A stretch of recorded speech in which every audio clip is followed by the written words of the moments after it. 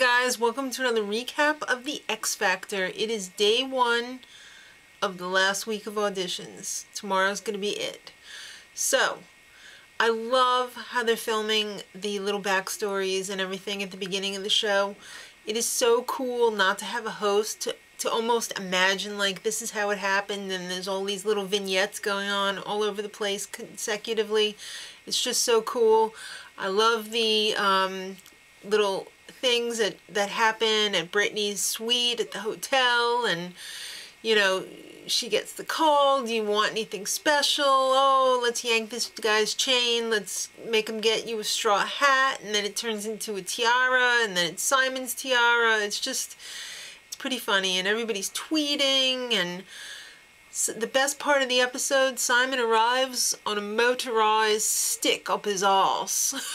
it was genius. Alright, so I guess he had to pull it out before he come in and do the show. Beginning the show, John and Adonis, basement dwellers, 33, 32.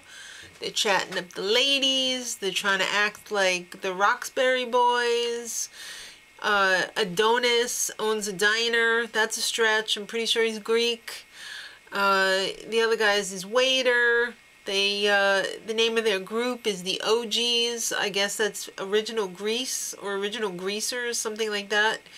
So they sing Lionel Richie's Hello, only it was nothing like Lionel Richie ever sang. One guy tried to sing it, and then the other guy just went like, mm, uh, yo, yeah. It was a no. It was fun though. It was funny. Fun and funny. Alright, so then there was a bunch of bad auditions. I mean, really bad auditions. But then the sun came out and Dinah Jane showed up. Uh, 15 years old. She lives with about a thousand people. Alright, at least 20. In one house.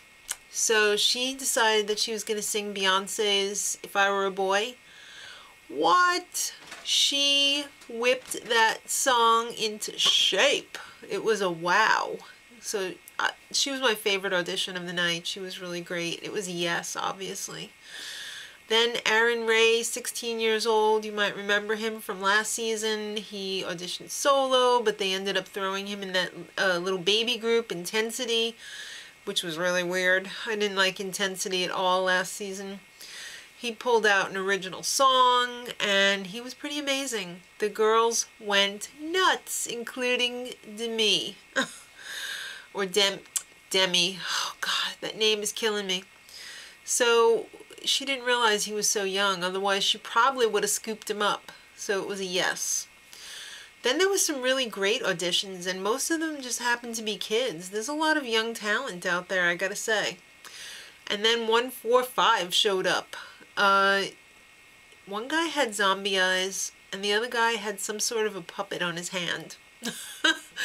zombie eyes and puppet hands. It's a winning formula. It was all yeses. They were pretty good. They did like a little rap thing. Then was Shangli. I think that was her name. She showed up in a sailor suit, but she was no child. She was 52 years old. She want to be superstar. All right, she's single because she's picky. Simon says, that's okay. I am too. I was waiting for him to ask her out, but I think Carmen Electra would have been pretty pissed. Uh, I've actually heard worse than her audition. She really wasn't that bad. She was just extremely weird.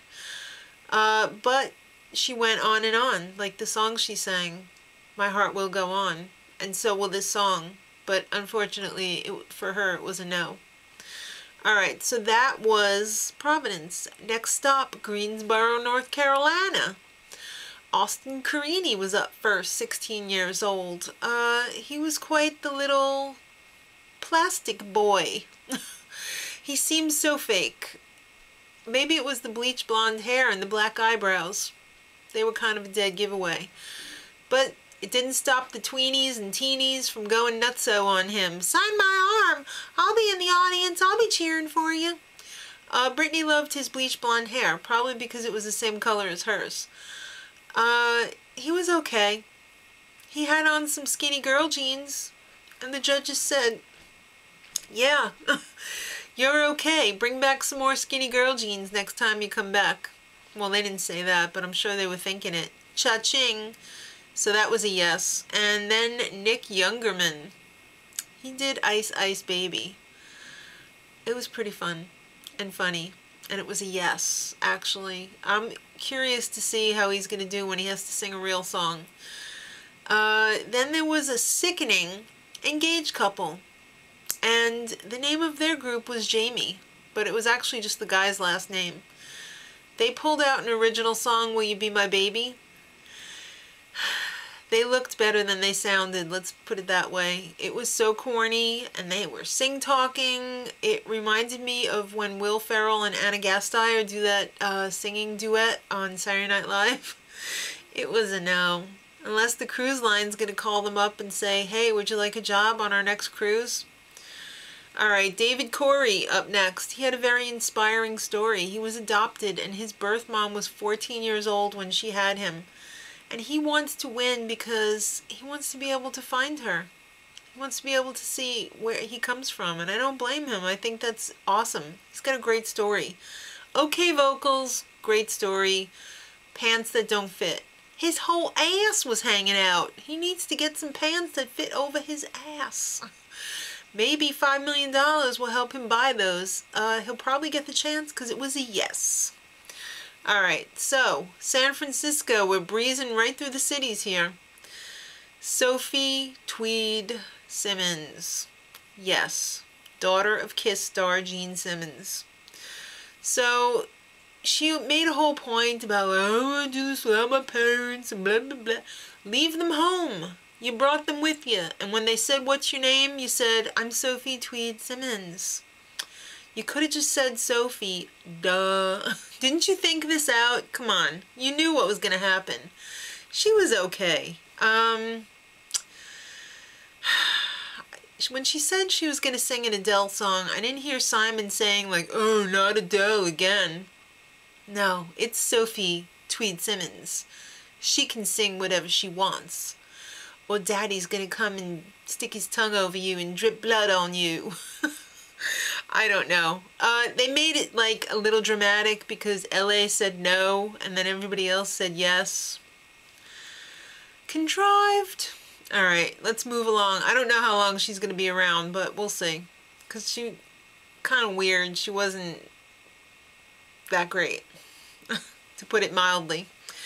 Alright, so then crazy ass vocal coach Tara Simon was up next. She was backstage like pacing around like a caged tiger stretching out her arms. Whoa, don't strain your arm holding that microphone. Make sure you stretch it out.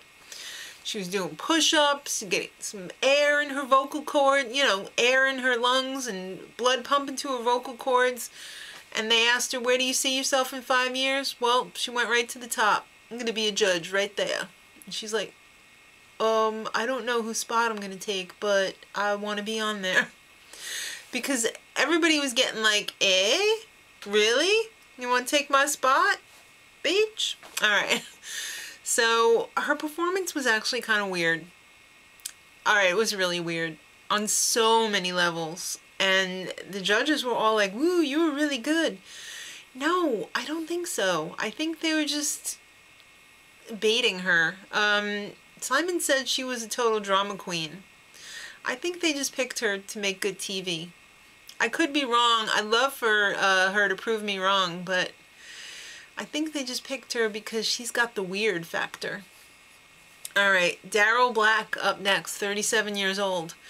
He looks so young. It looked like he was kissing his mom at one point. Sorry, Mrs. Black, but your husband looks very young. It's not that you look old, it's that he looks very young.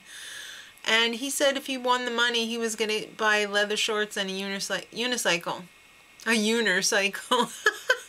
a unicycle. So that was fun. And uh, he said he's got five kids. Wow. And he's only 37. He's been busy. Well, he had a lovely voice. And uh, Simon said he reminded him of Nat King Cole. And I have to agree with that. It was really smooth and luscious. I loved it. Um, smooth yet like jazzy hipster. So it was a yes. I'm looking forward to seeing more of him.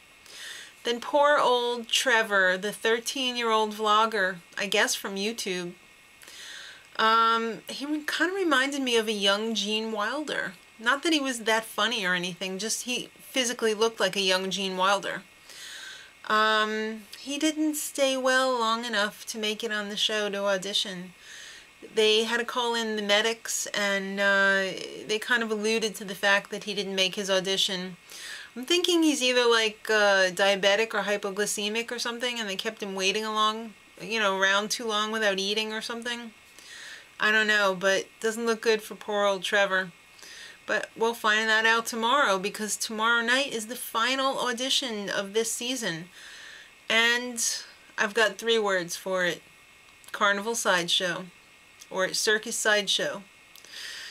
Yeah, that good. So, check back tomorrow. We'll talk about it again.